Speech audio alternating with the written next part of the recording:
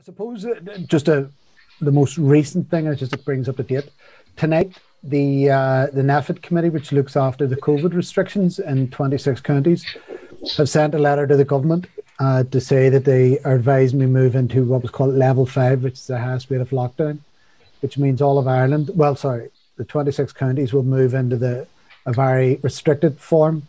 So it'll be if it's accepted by the government, we'll be back into a full lockdown, all businesses closed, five kilometre radius for travel. Uh, and the rates in the north are actually higher per 100,000. Then, so you'll imagine there will be an all Ireland reciprocal version of this if it's accepted by the governments. We're currently at level three and they're, adver- they're proposing going to level five.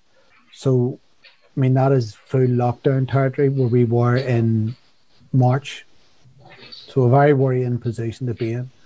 Um, I suppose that's that's the context for everything that we've been doing. It's the reason why we're doing Zoom meetings and the reasons why I haven't been able to travel to Canada to see us all in person. But everything else continues on in the background, including the politics of, for today. And just to bring us up to speed, I mean, I the last time I spoke to you, is we I said the, the big issues we were facing were Brexit and legacy and those those issues haven't gone away and in fact have intensified. What has become apparent to anybody looking in is this this British government has no care I don't know. for the Good Friday Agreement. You need chat room. There's no care for the the people of Ireland, no care for their rights, no care for what what's happening. And that's why it's about Brexit or why it's about legacy. This is a government that has no skin in the peace process game. And in fact, the people who are leading British government policy opposed the uh, Good Friday Agreement. So people like Michael Gove uh, actually spoke against and re- quite extensively. He actually likened the Good Friday Agreement to Nazi appeasement. And this is a guy who's now in control of implementing Brexit. And I'll just go through then to bring us up bring us up to speed on where we are with Brexit. And things have moved at a pace uh, three weeks ago, Michael Barnier, Michel Barnier gave a report and he says there was three outstanding issues which the British government hadn't moved on. There were fisheries, state aid, and dispute resolution.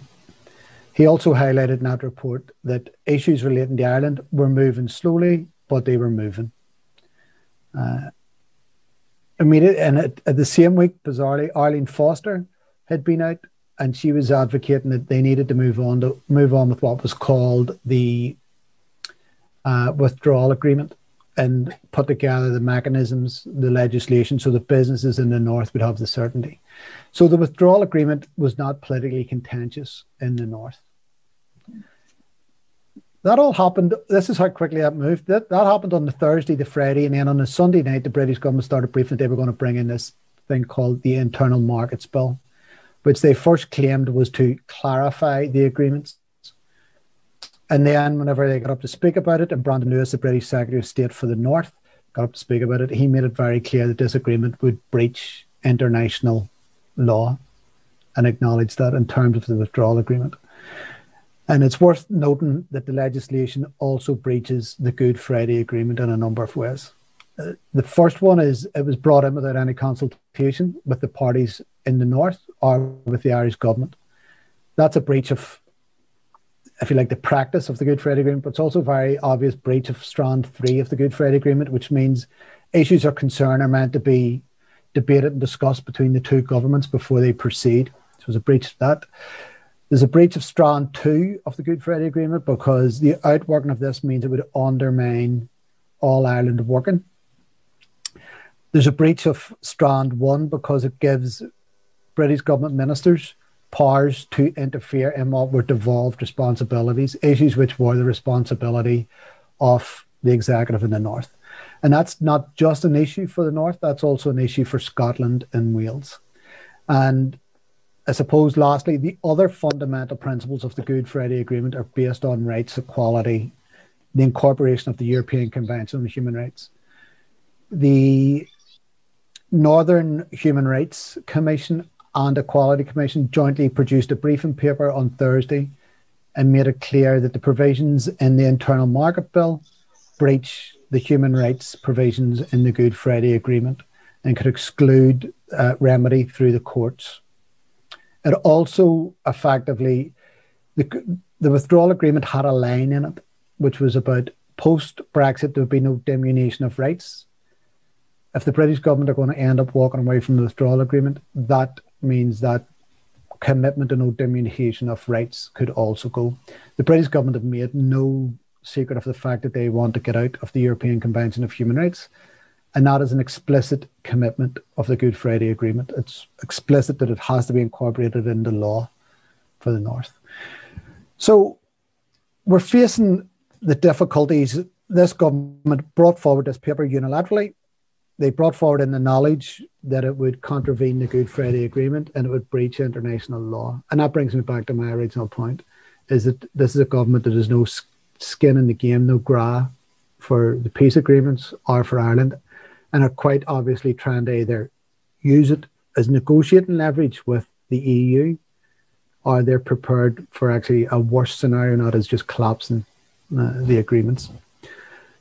And just uh, then go, back to the points that the, the issues that were extant that Michel Barnier raised are still extant in terms of the trade agreement. So there's talks going on at the minute about a trade agreement between the EU and Britain. The withdrawal agreement had been done and dusted, no hard border. It was the, the insurance mechanism for making sure that there'd be no hard border in Ireland and that Good Friday Agreement be protected. The trade agreement, there's been a number of pinch points on it.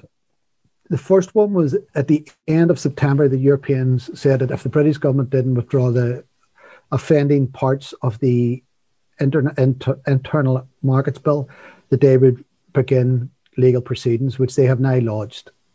So th- those came on the 1st of October. They sent a letter to the British government, which is the first phase of a legal action. Uh, the British government had four weeks respond to that, and it ends up being caught in international law and tribunals and cases of that. The, the second pinch point was set by Boris Johnson, which was for the 15th of October. He said that there had to be an agreement by then, or he was collapsing the talks. Interestingly, uh, yesterday he had a call with the EU Commission President, and they agreed to extend it by a month, which brings you into the end of October, which was the deadline set by the European Commission for having an agreement. Because if you leave it any longer than that, the Parliament wouldn't have the ability to ratify it and it wouldn't go through the process. And I suppose the ultimate cutoff date is the 31st of December when the transition period lapses and there's no mandate, there's no provision post that. So an agreement has to be in place for the 1st of January. The Europeans had offered to extend that transition period, but the British government have declined and said no. So we're in a very precarious position in terms of what happens next. I think Mary Lou McDonald summed it up well one time with us when she says the British government probably don't know actually what they're going to do next. They've created this chaos in the middle of a negotiation. Uh, and it's the it could lead in the nightmare scenario to, as I say, the a hard border coming being put in the, put in the Ireland, uh, the British government walking away from the withdrawal agreement or elements of it, and a clash between Europe and Britain, but also fundamentally it shows that the British government pay no regard to the Irish government or the parties in the north, and that's been the same with the issue of legacy. Uh, I think in terms of an ask, the immediate ask would be good to get some voices from Canada to raise their concerns. Canada's skin in the game on the Good Friday Agreement. And the ask is very simple that in the middle of that the British government should commit to honouring international law and their agreements. It's crazy that you have to actually that becomes the ask that a sovereign state should actually abide by the agreement, which only was brought into law in February of this year. So I think that that's that, that's an immediate ask. Long term, it shows that this Westminster has no love for the the agreements, no concern for the prosperity of the North or the South, has no concern for the rights of citizens, North or South.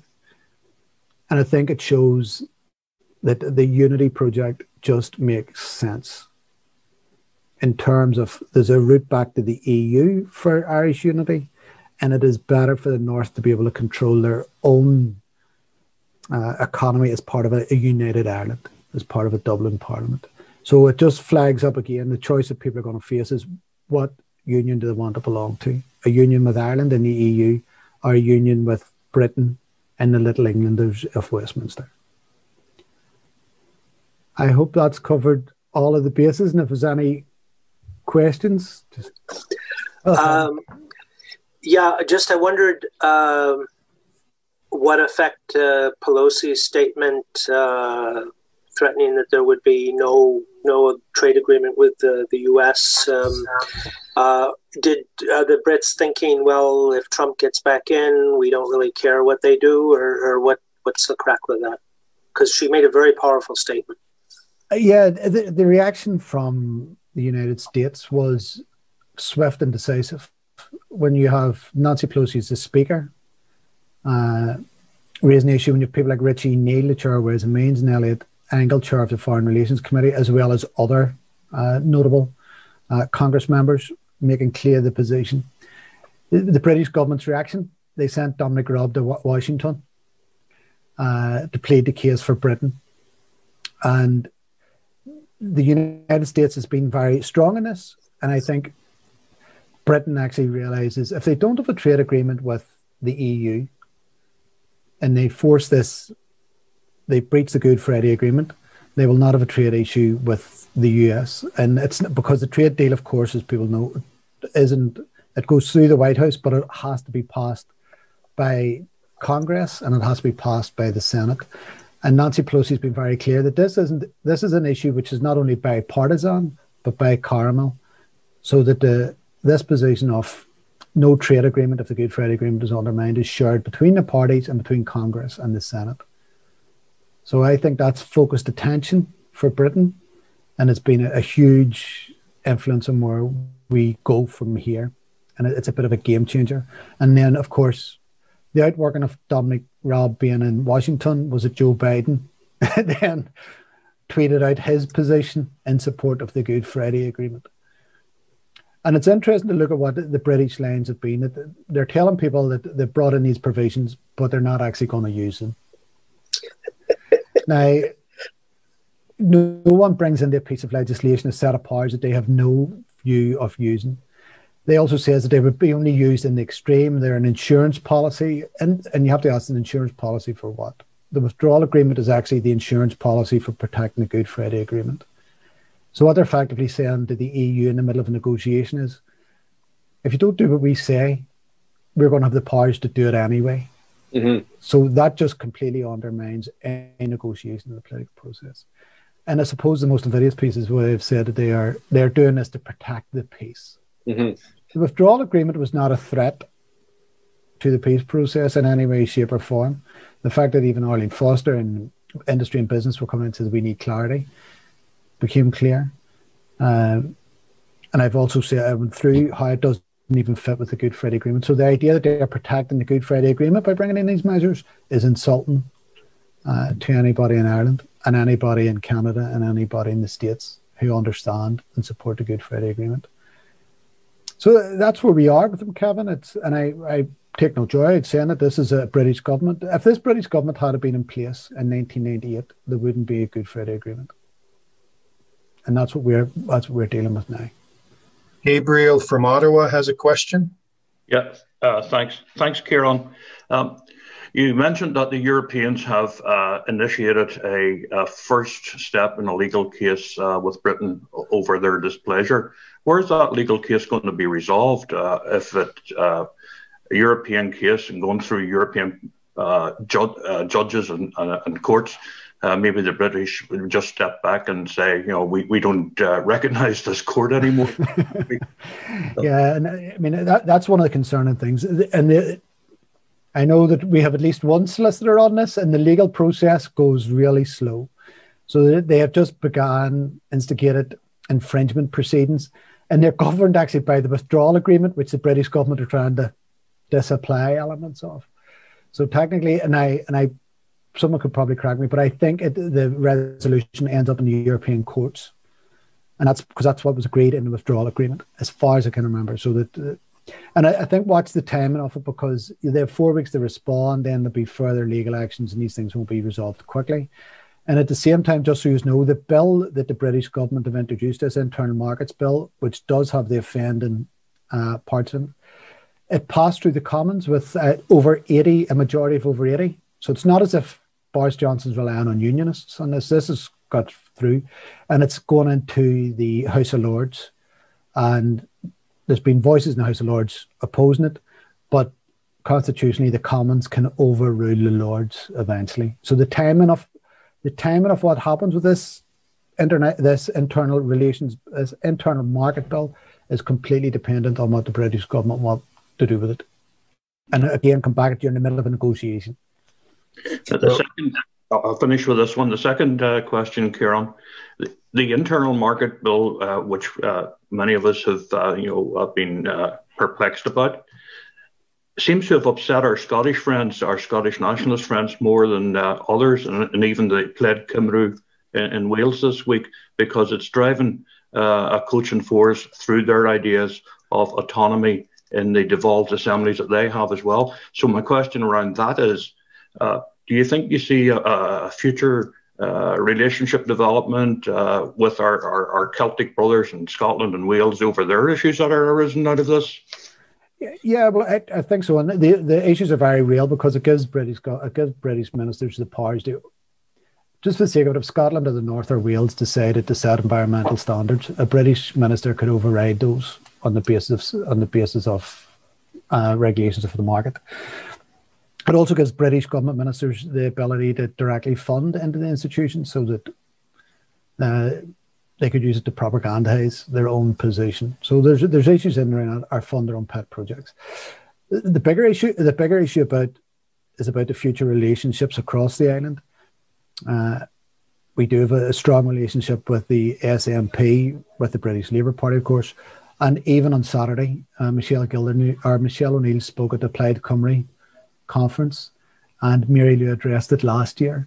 So we do have good fraternal uh, relations with those other parties, and I'm always mindful that in particularly in Scotland, Scotland voted against Brexit as well, and it's being imposed on them, and that creates all sorts of tensions within Britain, uh, which should come as no surprise that we're we're for national democracies, we're for the sovereign rights of nations, you know, so that we would support the people of Scotland and the people of Wales to determine their own relationships. And uh, Sean Maloney out in Vancouver has a question.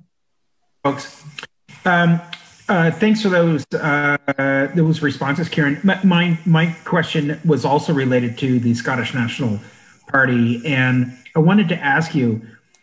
Uh, it, or my first comment or observation would be that it seems like Nicola Sturgeon's kind of I'm enjoying watching her kind of like run circles around Boris um, in the management of of coronavirus and so on. So it seems to me anecdotally that there's there's a growing uh, shift or support for for that movement. How influential or how beneficial is the advancement of Scottish nationalism in terms of a strategy or momentum for for Irish unity?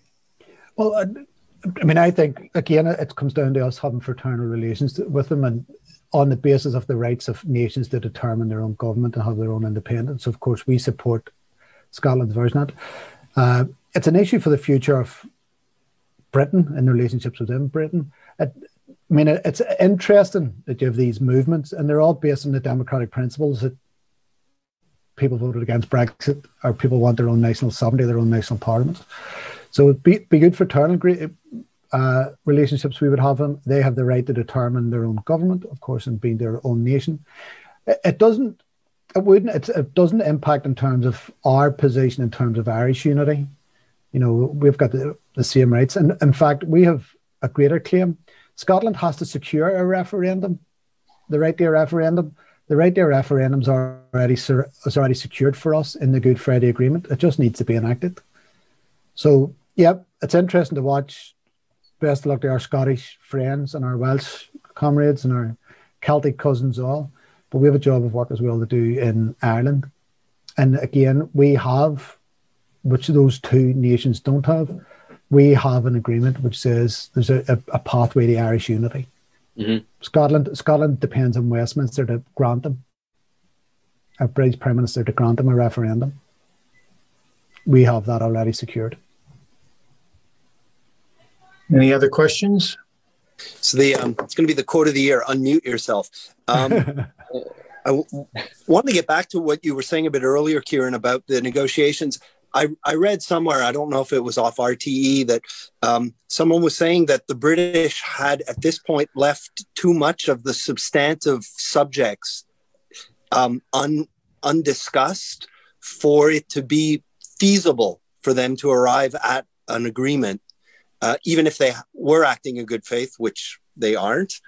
Um, do you know anything about that? It's as if for them it was like it's a foregone conclusion. They won't be able to get it done by the uh, end of the year. Well, I think because it's a live negotiation, there's always a chance of reaching an agreement. And it's been interesting the conversation yesterday between Boris and uh, Van Laden, where they flagged up the hope of having an agreement. But you're right. When Barnier spoke three weeks ago, his key position was that the British government had not actually provided any papers on their approach to state aid, to fisheries, and to uh, dispute resolution. And I mean, it was a, from our experience with British negotiators, they try to take everything down to the wire and hope that they will bounce people. So that that could be part of the mechanism they're looking at. Uh, but they have left it extremely close. And it, that's the trade side. So if you get a trade agreement, by the way, most of the withdrawal agreement doesn't actually isn't required because you have tariff-free trade. So the issues that has been flagged up no longer be issues. So you want to get a trade agreement. Um, so the trade agreement's one side of it. The other thing that they've left it very late to be doing is putting together the processes for the withdrawal agreement. So like there has to be customs checks and checks at ports of entry in Belfast, Larne and Warrenpoint. They haven't been proceeding with those in time in good faith is what Europe will say. So they are cutting it very close. And the, it's not just a problem for Ireland. If there's no trade deal, even with the trade deal, they are saying that Kent will be gridlocked in terms of traffic trying to get to Dover. So the, the whole thing has been a mess in terms of Britain's handling with it, handling from it. Uh, you would hope that an agreement could be put in place, that the sense will prevail. But physically, it, actually doing the physical side of it, they've left it very late in terms of putting together the checks that are required and the infrastructure is required. And they've left it extremely late to be dealing with the issues of state aid and fisheries. And I know that there was one report that says it was work had been done on fisheries, but state aid and the dispute resolution mechanisms. It, it sort of scares me to think we've come this far and we're really no further on because it looks like Britain's in the driver's seat here, as far as I'm concerned. They've created disarray in negotiations, and we don't see have anything to stop them from going any further. So we're no further on than we were 30, 40 years ago, as far as I'm concerned. Like we haven't made any progress. And it doesn't look like we're going to make any the way Britain is created. And they have done this all down the years. And I don't know, with all the people that we have, we can't stop them.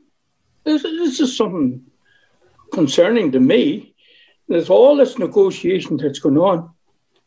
They still seem to be in the driver's seat. Yeah. So I don't know what we're going to do. Sorry. It, it, it, it's, it's as simple and as complex as this. They're going to have to leave. And, I, yeah. and, and, and, I mean, it's a very blasé way to, to, to approach it, but the, the issue which is now facing people is what is what, where do they see their future? And so people in Ireland are seeing what way the British government have dealt with Brexit, have dealt with the Irish government, have dealt with the parties. And the North is no longer the place that it was 20 or 30 years ago, Bernard. It's, I mean, it's fundamentally changed. Brexit, for example, See, at, I think I'd said it at the, at the last time we were together. The Stormont Assembly, the Stormont Parliament was set up to be a unionist parliament for unionist people. Unionism is now a minority. The people who speak for the people in the north, in terms of Brexit, is Sinn Féin, the SDLP, the Alliance, and the Green Party. That is the majority of votes in the Assembly. The, the Assembly voted to reject the British government's position. So all of those, that popular up, that popular feeling is now across the board. The unionist majority is now gone. The ability of the British government to breach international law is now being questioned. They're now in the dock. It's not Irish Republicans who are in the dock. It's the British government are in the dock. And we have a mechanism for achieving unity. I'm a bit like you, I'm a bit cynical.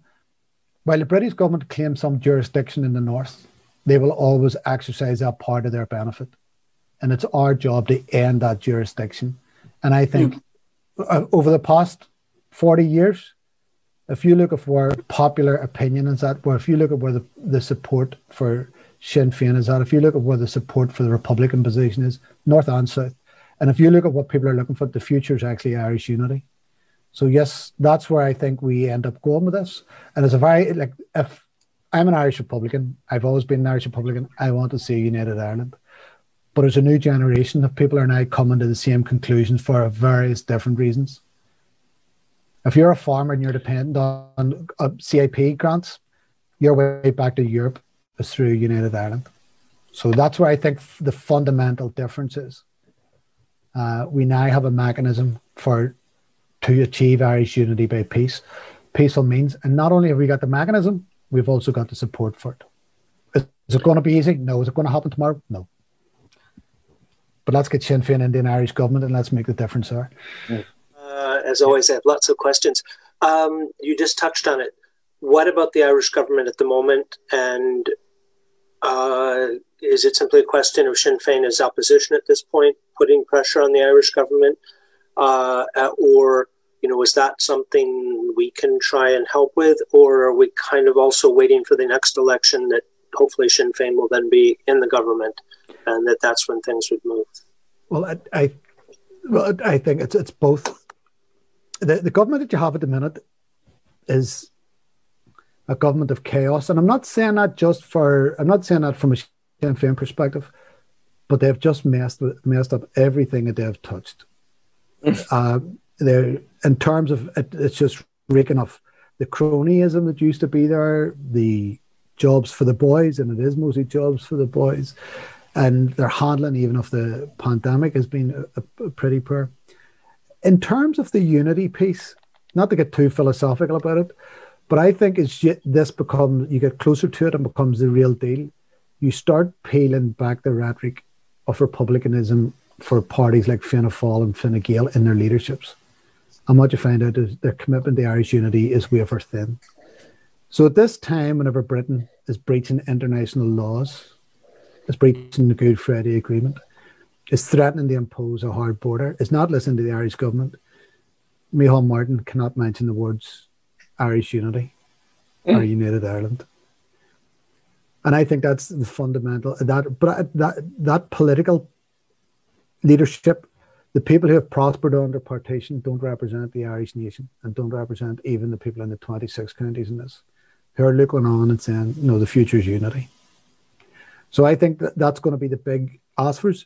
What we will do in opposition is we, we will keep the Irish governments uh, foot to the flame in terms of unity, in terms of progressing the argument, in terms of protecting the Good Friday Agreement, and be sure that if it was a Sinn Féin, Taoiseach, or Sinn Féin our government, we would be planning for Irish unity and we would be promoting Irish unity and we would be open for the discussion on Irish unity and we'd be talking about it and uh, the future of a new and united Ireland. Mm-hmm. And that's what we've been. Thank you, Ciarán.